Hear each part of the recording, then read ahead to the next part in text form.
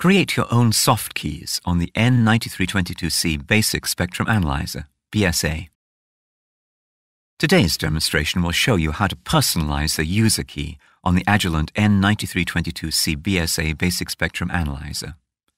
This key allows you to define and recall frequently used state files.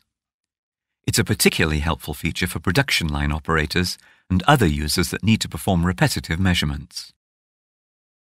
It takes just three simple steps to establish the functionality of your user key. First, you need to save the measurement setups into a state file. Then, you need to create two folders in the N9322C's internal memory. The hierarchy should be C colon backslash user backslash state. For the final step, copy the state files to the state folder you just created. After you finish these three steps, you will see your personalized user soft key on the N9322C Spectrum Analyzer. You can create a maximum of 18 user soft keys. Let me show you how easy it is with an example. For this demonstration, we'll assume that you've already saved a couple of state files in the analyzer's internal memory. To begin, press the File hard key and enter the File Management screen press Directory and Create Folder soft keys.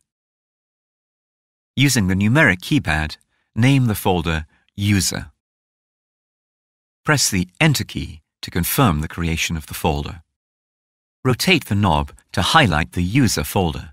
Press Browse Folder, then press Create Folder. Use the numeric keypad to input the folder name State. Press the Enter key to confirm the creation of the folder. The last step is to copy the state file into the specific folder named state, which is created under the user folder of the root directory. 1. Rotate the knob to highlight the saved file step underscore 1. 2. Press File Operation and Copy to.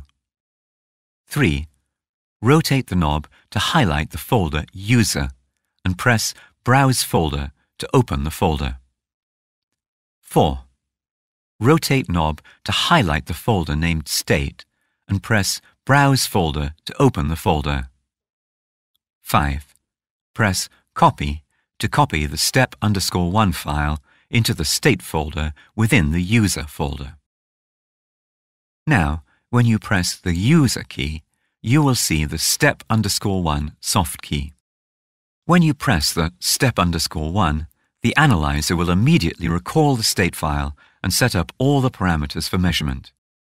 This is very helpful for operators who have to implement repetitive tasks and reduce their time to set up the parameters.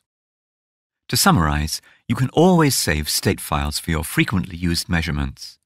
When copying them into the user slash state folders, the N9322C BSA always recognizes the first 18 state files and displays their file names on the user's soft keys. This allows you to quickly access any of these predefined tasks and easily switch from one task to another. The N9322C's user key is just one of several features designed to help you gain greater test efficiency and capture more opportunities.